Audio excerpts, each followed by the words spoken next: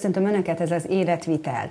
Elszigeteltség, izoláció, teljesen mindegy, hogy hogyan nevezem, de nagyon sok mindenkit érint, és nagyon sok szempontból megközelíthető ez a téma. Erről fogunk beszélgetni mai adásunkban a következő 30 percben. Íme néhány bevezető gondolat. Vidék kontra város. Az urbanizáció jelentős mértékben hozzájárul a földrajzi értelemben vett elszigeteltség kialakulásához. A vidéki területeken megjelenő területi, környezeti elszigeteltség társadalmi, gazdasági leszakadáshoz vezet. Köszöntöm vendégeimet, akiknek örülök, hogy elfogadták a meghívásunkat. Szoboszlai Katalin szociológus, Gurály Edina szociológus és Lupák Éva pszichológus a vendégünk. Nagyon tág és nagyon szerteágazó ez a téma, de hogyha ebből indulunk ki, hogy földrajzi izoláció, vagy földrajzi szeparáció, és annak társadalmi, vagy az individumra gyakorolt hatása, akkor mi az, ami elsősorban szociológusnak eszébe jut? Milyen hátrányai lehetnek az ilyenfajta elszigetelődésnek? Hát ami nekem így elsőre eszembe jut a téma kapcsán, az a szegregáció.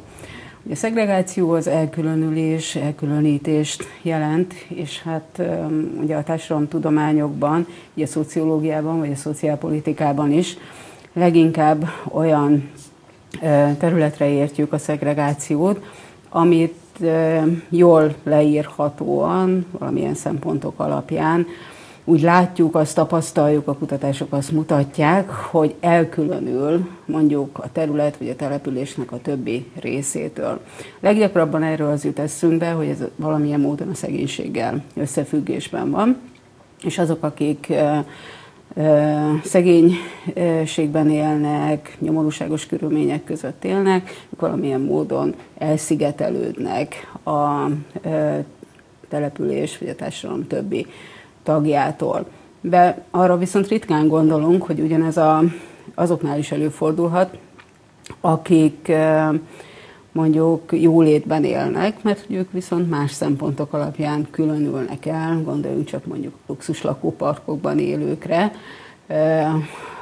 vagy azokon a területeken élőkre, leginkább kívülről és házakban véljük fölfedezni, akik igen jó módban és igen jó körülmények között élnek, és ők egyáltalán nem akarnak közel lenni azokhoz, akik mondjuk átlagos körülmények között vagy szegénységben élnek. Tehát nekem így a téma kapcsán elsőként a szegregáció jut eszembe területileg, és hát ugye nyilván a szegregációt más formában is értelmezzük, mondjuk akár az oktatásban, amikor mondjuk ö, ö, azt veszük észre, hogy egy iskolában, egy oktatási intézményben csupa olyan gyerek jár, akik ö, ö, sokféle hátrányt elszenvednek az életükben.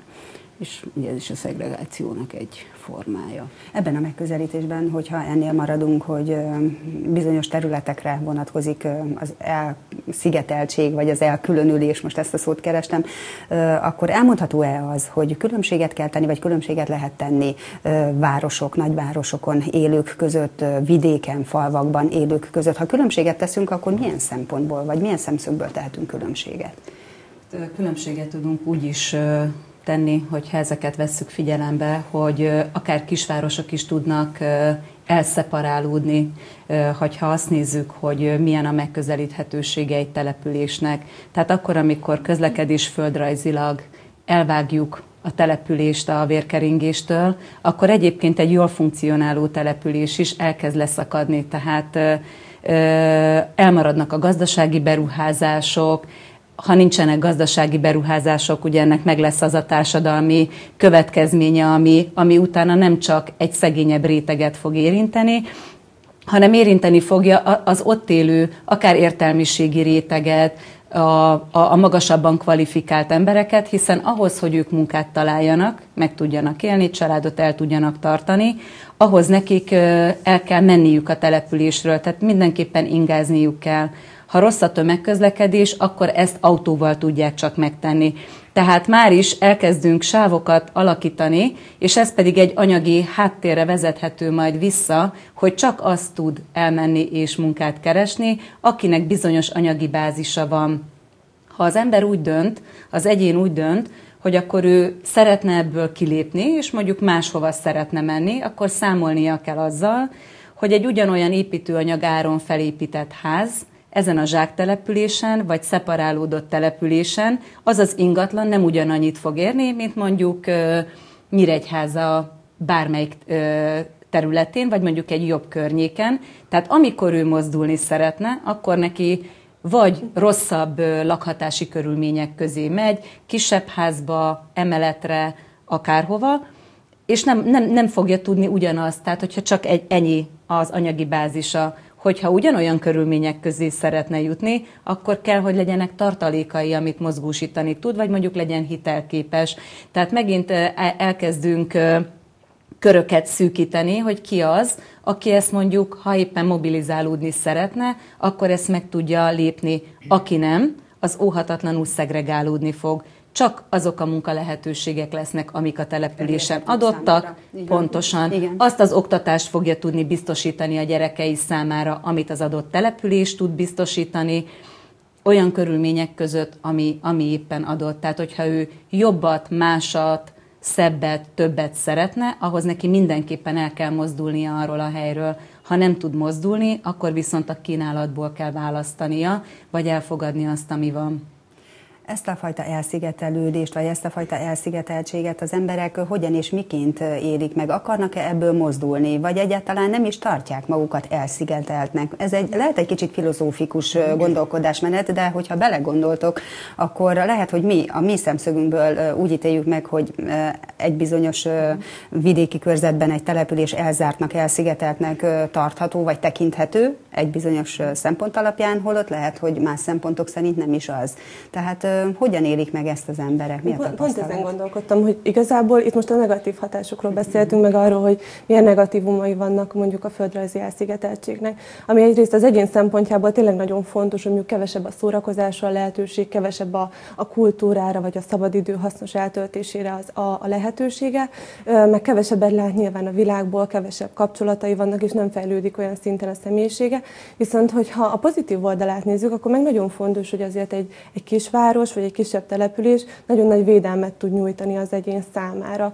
Tehát, hogyha ahhoz viszonyítjuk, hogy nagyon sokat beszélünk erről, mennyire el vagyunk most már idegenítve egymástól, mennyire keveset beszélünk, mennyire keveset kommunikálunk egymással, ahhoz képest én azt gondolom, hogy a kisebb városokban vagy a kisebb falukban még mindig sokkal nagyobb az összetartás, és sokkal inkább megvan ez a, ez a közösségi érzés, mint például városban.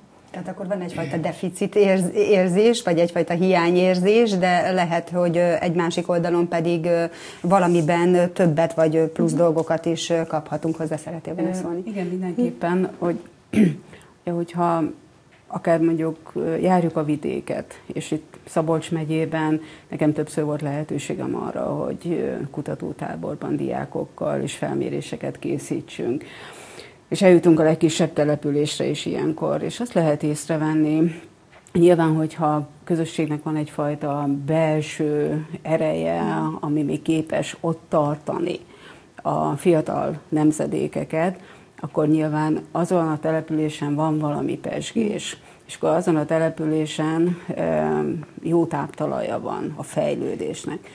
Viszont ennek a másik oldalával lehet gyakrabban találkozni, hogy kiüresednek a települések. Egyrészt lakosság számban elkezdenek fogyni ezek a települések, és ugye kik maradnak? Azok, akik immobilak, akikről az előbb Edina is beszélt, azok, akiknek nincsenek olyan lehetőségeik, és itt ugye a lehetőség az leginkább a pénzben, a munkában értendő, hogy tovább hogy, hogy ott a településen tudjanak maradni, ahol mondjuk az önkormányzat az egyetlen foglalkoztató, és közel-távolban nincs olyan munkahely, ami ott helyben tartaná a lakosokat. Ugye azt lehet észrevenni, hogy elkezdenek kiüresedni a települések, és kik maradnak? Nyilván az immobilak és az idősek. És az idősek. És ugye ez azért is szomorú, mert hogy például a, akár a közösségi erőforrások, akár a generációk szolidaritása egymás felé ezeken a településeken már kevésbé tud jelen lenni. Innen fogjuk folytatni, de néhány gondolat a továbbiakban. A szociális izolációnak lelki egészségügyi hatásai vannak. Ezek megjelennek a viselkedésben, a magatartásunkban, a társas viszonyokban, a gondolkodásunkban. A szeparációs betegségek állandósulnak, és akár visszafordíthatatlanná is válhatnak. Szóval ezen a területen nagyon sok mindenkit érint ez a néhány probléma, amit az imént hallhattunk. Tehát az, hogyha a szociális közegünkben elszigetelődünk, akkor annak komoly egészségügyi hatásai lehetnek, lelki, mentális hatásai lehetnek. Valahol ott fejeztük be az imént a gondolatmenetet, hogy, hogy, hogy a szocializációs során nekünk szükségünk van arra, hogy ne elszigetelten éljünk, hanem folyamatosan a társak, a család, a munkahely segítsen és segítse a fejlődésünket, de mégis azt látjuk magunk körül, hogy egyre inkább több olyan ember él, teljesen mindegy, hogy vidéken vagy városban, akiknek hiányzik ez a támogató közeg, ez a támogató viszony. Tehát milyen hatása van annak, hogyha tartósan az egyén, és akkor most átérünk az egyénre, egyedül marad, idézőjelben értve? Azt gondolom, hogy ezt nem, nem győzzük elégszer hangsúlyozni, hogy az ember alapvetően társas lény. És hogy ez nem egy olyan frázis, amit, amit csak úgy mondunk, hanem mindenkinek szüksége van olyan támogató személyekre, olyan őt körülvevő emberekre, akik, akikre tud kapaszkodni, akik tudnak tanácsot adni, és hogyha ez hiányzik, akkor ez valahogy egy ilyen öngerjesztő körként tud működni. Tehát, hogy először csak, csak mondjuk nem annyira lépek ki az utcára, mert mondjuk nincs munkám, vagy van valami olyan problémám, ami miatt nem merek társaságba menni. Aztán nyilván emiatt, mert nem mozdulok ki otthonról, kevesebb ingerjel, sokkal inkább rám szakad a magányosságnak az érzése, vagy annak az érzése, hogy egyedül vagyok. Utána pedig már azért nem megyek ki az utcára, és azért nem keresek kapcsolatokat. És nyilván ennek tükrében nagyon sok lelki betegség, vagy akár nagyon sok testi betegség is kialakulhat, mert sokszor látjuk például azt, hogy, hogy aki folyamatosan otthon van, mondjuk elkezdi saját magát figyelni, figyelni, elkezdi a testi tüneteire koncentrálni,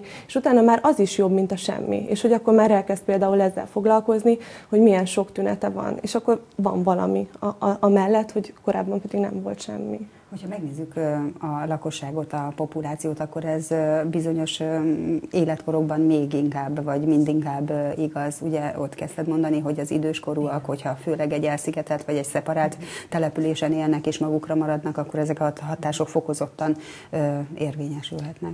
Ez nem csak kis településekre, hanem nyilván nagyvárosokra is igaz a szociális izoláció, és ha már itt az előbb az, az idősek helyzete, került előtérbe, akkor én azt gondolom, hogy náluk ez fokozottan érvényesül, különösen akkor, ha már a családhoz tartozók, és itt ugye főleg gyerekekre, unokákra, közelebbi rokonokra gondolunk, valahogy úgy távol, távol vannak. Ugye most néhány éve éljük már a, azt, hogy a, fiatal, a középkor és fiatal generációk munkavállalás miatt elköltöznek Nyugat-Európa országaiba, és egyre távolabb kerülnek a szülőktől és a nagyszülőktől, ami ezt a, ezt a egyedüllétet vagy bezárkózást tovább erősítheti. És ugye még most ilyenkor is mondhatnánk azt, visszacsatolva oda, hogy az ember társas lény, hogy nyilván az elsőleges erőforrásait a családból nyeri az egyén, és ugye tágabb környezetében is lehetnek szomszédok, barátok, ismerősök volt, munkatársak, akikkel valamikor egy közösségbe járt. Azonban ezeket a kapcsolatokat életben tartani, ugye az is e, egyrészt munka, munka, ezért tenni kell, másrészt pedig szükséges hozzá valamilyen emocionális, érzelmi töltés is, hogy valamit adok és valamit kapok ezekből a kapcsolatokból. És ugye például a, a nyugdíjasok, az idősek nagyon szeretnek közösségekbe járni, és nyilván ez egy olyan, tehát a társas együttlét lehet az, ami oldja ezt az izolációt, és fontos is, hogy oldja. Egyébként ez kutatások mutatják, amik a kapcsolati hálóknak a kutatásával foglalkoznak, hogy ránk magyarokra alapvetően jellemző, hogy a laza kapcsolatainkat nem tartjuk annyira. Tehát akkor, hogyha amikor ilyen kapcsolati háló kutatásokat végeznek, azt, azt tapasztalják a szakemberek, hogy a, a családokra és a barátokra egy nagyon szűk környezetre számítunk akkor, hogyha valami gondunk van. Ugyanakkor például a munkaerőpiacon is a lazakapcsolati háló az, ami például az elhelyezkedésben tud segíteni. Tehát ha megkérdezünk valakit, hogy kinek a segítségével helyezkedett el, általában nem az elsődleges családját mondja, és nem az elsődleges rokoni kapcsolatokat, de még nem is a legszorosabb gyerekkori barátokat, hanem egy tágabb környezetet fog megemlíteni, volt kollega, volt munkatárs, gimnáziumi osztálytárs, középiskolai, tehát hogy ezek, ezek a kapcsolatok kezdenek el ilyenkor mozogni, de ezek azok a kapcsolatok, akkor, amikor szűkül be az egyénnek a tere, ezeket fogja leghamarabb leépíteni magáról. Pár évvel ezelőtt kapcsolódtunk be egy programba, amiről pont Kati beszélt, hogy nyugdíjasoknak mekkora szükségük van erre. Ez egy munkatársi közösség volt, tehát ez egy bizonyos üzemnek a bizonyos nyugdíjas klubja volt, ahova jártunk előadásokat, tréningeket, foglalkozásokat tartani. Nekik nagyon fontos volt az, hogy hetente egy-két alkalommal kimozduljanak, hogy legyenek ezek a klasszikus együttfőzések, akármi, bármilyen program, amivel, amire ők tudnak készülni. És ennek, tehát mindig kell, hogy legyen akkor egy olyan közösség, aminek van egyfajta megtartó ereje, ami egy, egyfajta értelmet ad, abban legyenek kapcsolódások egymással. Egyébként el tudjuk fogadni az elszigetelődött, vagy az elszigetelt embereket? Erről mi a tapasztalat, vagy a kutatások mit mondanak? Mert azért ehhez kell egy olyan attitűd, hogy azokat a, akár a szegregátumban élőket, vagy a betegségben elszigetelteket, és akkor itt lehet ugye eléggé széles, akkor el tudja fogadni a társadalom, akiknek igenis szüksége van arra, hogy, hogy segítséget kapjon. Szerintem pont ezen van a lényeg. Tehát, hogy ne hagyjuk őket magukra. Ha nyilván a, az De egyének is, az egyének is persze, nyilván mindannyian tehetünk azért, hogyha észreveszünk, hogy valaki visszahúzódik, kevesebbet látjuk, kevesebb találkozásunk van vele, akkor mi magunk is tehetünk azért, hogy fölhívjuk, érdeklődünk, elmegyünk, mm, nem tudom, megpróbálunk régi emlékeket visszahozni, vagy valami közös programot szervezni. Tehát ez a, ez a vegyük észre című dolog, és hogy, hogy próbáljuk meg őt egy kicsit visszahozni a kapcsolatba, illetve a közösség felé visszahozni. De ugye ehhez szükség van működő közösségekre is, és nekem még az jutott eszembe, hogy szívesen hoznám példaként, hogy a fiatalokat, és hogyha már beszéltünk az idősekről, akkor beszéljünk a fiatalokról is. Ugye itt az elmúlt évben zajlott le a Nyíregyháza ifjúsága 2015 kutatás, és szerintem már a te műsorodban is volt erről szó, de csak egy momentumát emelnék ki, hogy a fiatalok azt jelezték vissza, hogy annyira szeretnének olyan közösségi helyeket, és itt most nem a pubokról, a kocsmákról és a szórakozó helyekről van szó, hanem olyan közösségi helyeket, ahol valami ilyen értelmet nyer. A társas együttlét, a szórakozás, a találkozás, a kapcsolatoknak, a, pont ezeknek a kapcsolatoknak, amiről Edina is beszélt, a, a működése. És hát lehet, hogy az önkormányzat erre fogadókész lesz, hogy ilyen közösségi terek létesüljenek a városban. Tehát, hogy ez így nagyvárosi történet is. Igen, holott ugye abból indultunk ki, hogy leginkább a vidéken lehet meg a veszély annak, hogy elszeparálódnak, vagy elkülönülnek az emberek, de ez például egy nagyvárosi probléma. Innen fogjuk tovább folytatni a gondolatot, egy nagyon érdekes gondolatmenettel megyünk tovább. Az internet egyik legnagyobb ellentmondása, hogy miközben kinyitja a teret és földrészeket kapcsol össze, valójában lehetőséget teremt a bezárkózásra és a valódi emberi kapcsolatok elvesztésére. Tehát az egyik legjobb barátunk, de lehet az egyik legnagyobb ellenségünk is. Az infokommunikációs eszközök, az internet, és hát azok az eszközök, amin mi minden nap kommunikálunk és tartjuk a kapcsolatot. Tartjuk a kapcsolatot valójában, Edina, szerinted? Nekem ezzel egy nagyon érdekes tapasztalásom van. Egy, a legnagyobb gyerekem 10 hónapot töltött tőlünk távol, cserediák programban vett részt, gyakorlatilag semmi más nem maradt számunkra, mint a infokommunikációs eszközökön való kapcsolattartás. Tehát tényleg az egyik legnagyobb esemény az az volt, amikor újra hallottuk a hangját Viberen, aztán a következő esemény az az volt, amikor végre láttam is Skype-on, és azt tapasztaltam, hogy azok a kapcsolatok, amik működtek a, az ő életében addig, amíg itt volt Nyíregyházán, azok a kapcsolatok utána működtek addig is, amíg ő a világ másik végén volt, 6-7 órás időeltolódással, és ezek a kapcsolatok tovább működtek azután is, hogy ő hazajött. Tehát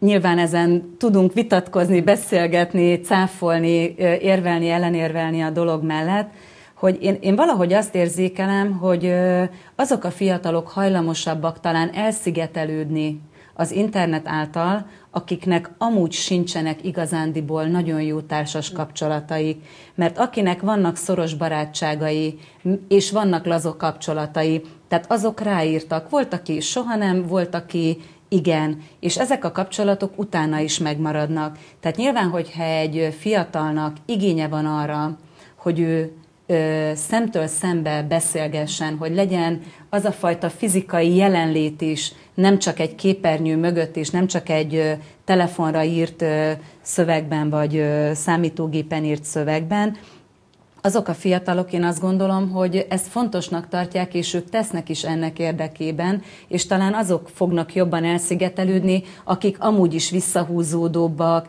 nehezebben nyílnak meg mások előtt, nehezebben tudnak beszélni mások előtt, azok sokkal inkább fogják választani talán az írásbeli kommunikációt, ahol jobban végig tudja gondolni, hogy mit ír le, jobban tudja szűrni, hogy kihez szól, és másrésztről meg van egy nagyon jó része is ennek a dolognak, hogy barátságokat tudnak kötni olyan emberekkel, akik fizikailag tőlük nagyon-nagyon messze vannak és csak a virtuális térben léteznek. Tehát akinek ez gondot okoz, valahol bezárkózik, és valahol ez a tér meg kinyílik számára egyszerre, egy időben. Hogy azok, akik körbevennék, vagy ott vannak osztálytársak, például velük nem létesít kapcsolatot, de kapcsolatot létesít valakivel az ország másik végében, a világ másik végében, akinek például hasonló az érdeklődési köre.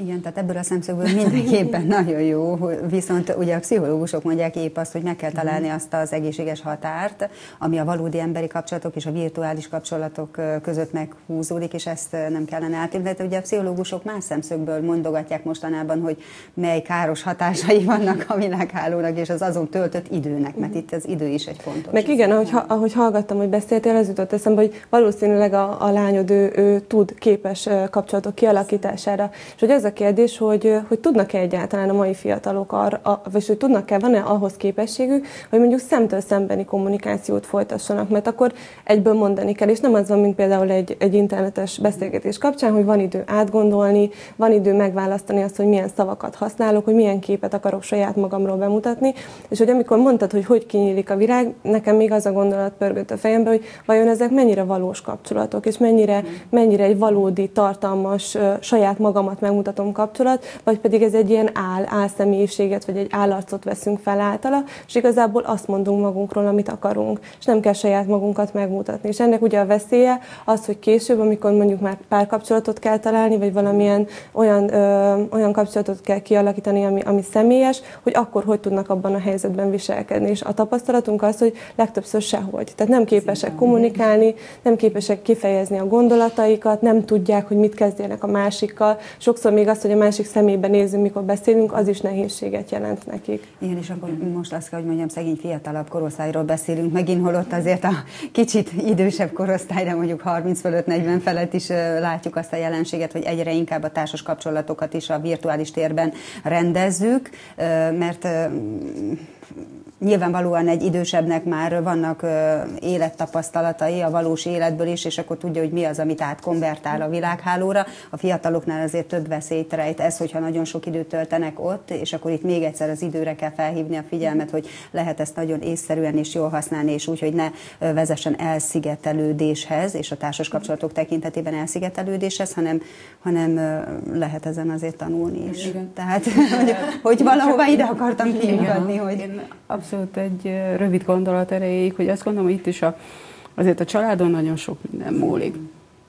Hiszen szerintem mindannyian láttunk olyan képet magunk előtt, hogy ott van egy család, és mindenki nyomkod valamit. Tehát valamilyen okos kütyüt ami éppen a kezében van, csak éppen egymással nem beszélnek, bár lehet, hogy a virtuális térben egymással is beszélnek, de hogy a valóságban azt látjuk, hogy mindenki rácsatlakozott az internetre, és valamit éppen néz, olvas, csetel, beszél, de hogy egymással meg nem.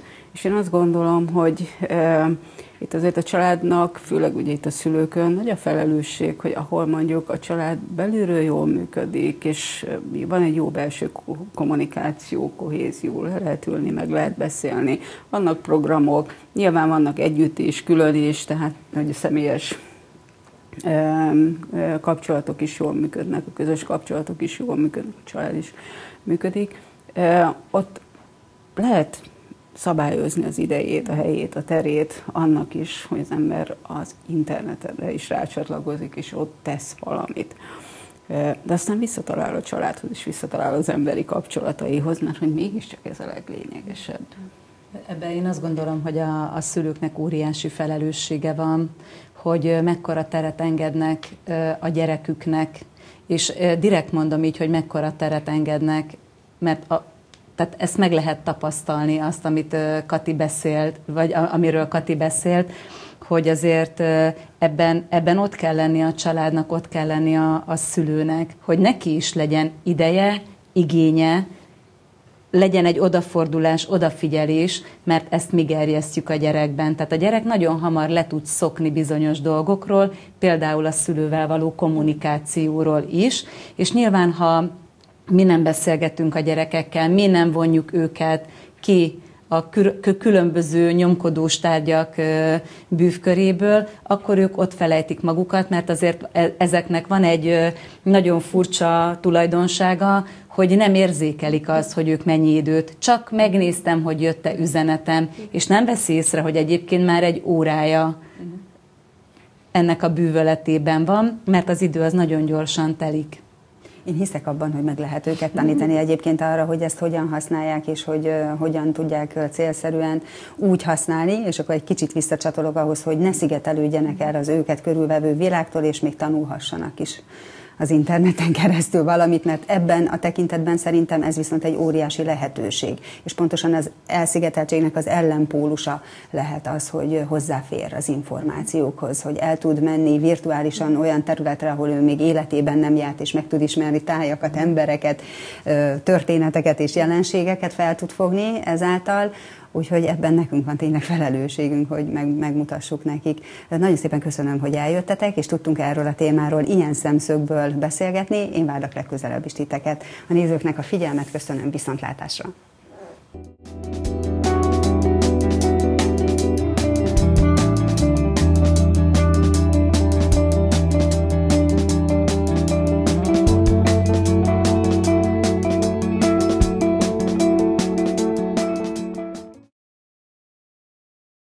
A helyszínt a Hotel Aventinus biztosította.